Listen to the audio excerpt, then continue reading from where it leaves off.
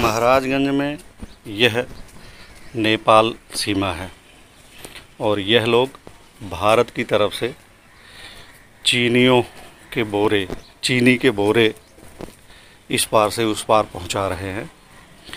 यानी कि चीनी की तस्करी कर रहे हैं।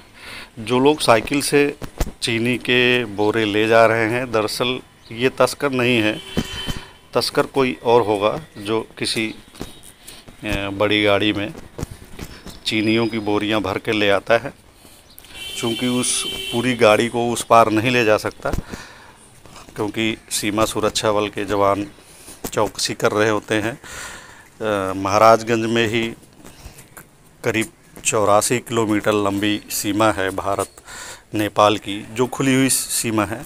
हालाँकि उसमें जगह जगह पे चेक पोस्ट बने हुए हैं और उसके बाद सीमा सुरक्षा बल के जवान पेट्रोलिंग भी करते हैं और सीमा क्षेत्रों में पुलिस की चौकियाँ भी हैं, थाने भी हैं।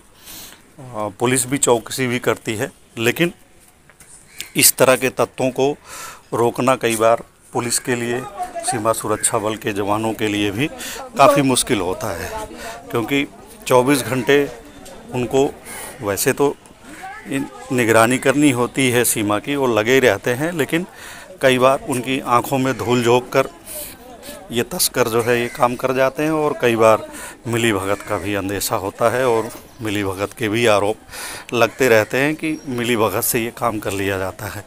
लेकिन ये काम कहीं ना कहीं पुलिस और सीमा सुरक्षा बलों को चकमा देकर किया जा रहा है क्योंकि ये एक पगडंडी के रास्ते ये लोग चीनी की बोरियों को साइकिल पर लाद कर उस पार पहुँचा रहे हैं, यानी नेपाल की तरफ़ ले जा रहे हैं। और इधर एक गाड़ी भरकर आती है, चूँकि गाड़ी जाएगी तो आवाज़ करेगी और वो पकड़ में आ जाएगी, इसलिए उसको सीमा के किसी गाँव के पास जो है खड़ा कर दिए देते हैं। उसके बाद उस, इन साइकिल वालों को जो है कुछ पैसे दे के उनको बोरिया उनकी साइकिल पर लाद के उस पार पहुँचा देते हैं। फिर बताया जाता है कि उस पार कोई गाड़ी खड़ी होती है, उसमें लाद के फिर माल को जो है ठिकाने लगा दिया जाता है।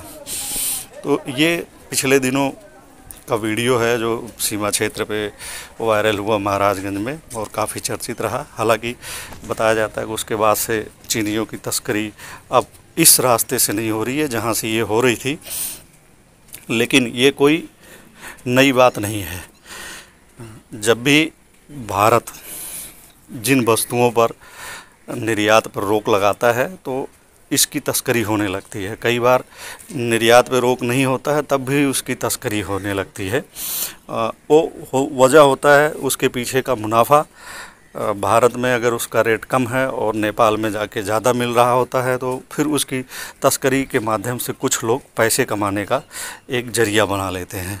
तो चूँकि भारत ने जो है गेहूँ, चीनी, खाद और कई तरह की वस्तुओं पे जो है प्रतिबंध लगा रखा है तो इसकी वजह से चीनी, गेहूँ, आटा पेट्रोल, डीजल की भी तस्करी होती है खाद की तस्करी होती है, यूरिया खाद वगैरह की भी तस्करी सीमा क्षेत्रों पर होती रहती है। और जो, जहाँ पे जब दो देशों की खुली सीमाएँ होती हैं तो वहाँ पर इस तरह के तत्व जो है सक्रिय हो जाते हैं और ऐसे सामानों की तस्करी अक्सर करते रहते हैं और इसीलिए जो है ये निगरानी की जाती है।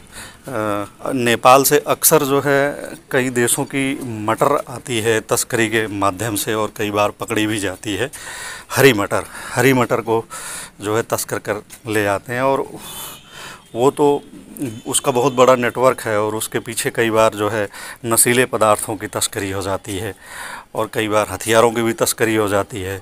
मतलब गलत तरीके की गतिविधियाँ भी हो जाती हैं। इसमें जैसे चीनी इस पार से उस पार जा रही है तो इसमें तो केवल चीनी जा रही है। कई बार होता है कि इसकी आड़ में कई और चीज़ें, गलत चीज़ें देश विरोधी चीज़ें चली जाती हैं, जो कि काफ़ी हानिकारक होता है, जो चली भी जाती हैं और उधर से इधर आ भी जाती हैं। तो ये एक बड़ी चुनौती भी होती है सीमा पे इस तरह की चीज़ों को रोकना, ताकि चीज़ें देश के खिलाफ ना जाएँ।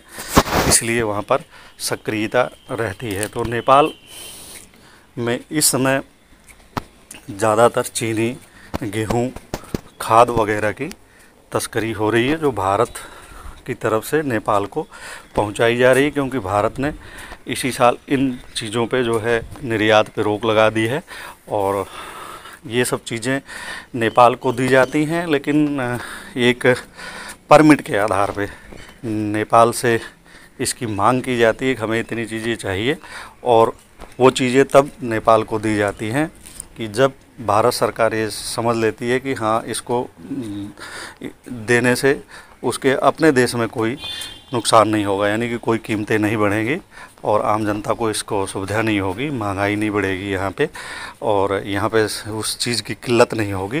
तो उन चीज़ों को फिर उस मात्रा में दे दिया जाता है। अमूमन होता क्या है कि जितनी मांग नेपाल की तरफ़ से आती है तो उतनी उसको चीज़ें मिल नहीं पाती हैं पर्याप्त मात्रा में। तो इस तरह वहाँ नेपाल में मांग ज़्यादा हो जाती है, आपूर्ति कम हो जाती है। तो उस ज़्यादा मांग की आपूर्ति जो है, ये तस्कर लोग अक्सर करते हैं, जो इस पार से उस पार माल पहुँचाते हैं और इसी में ये अपनी कमाई भी करते हैं।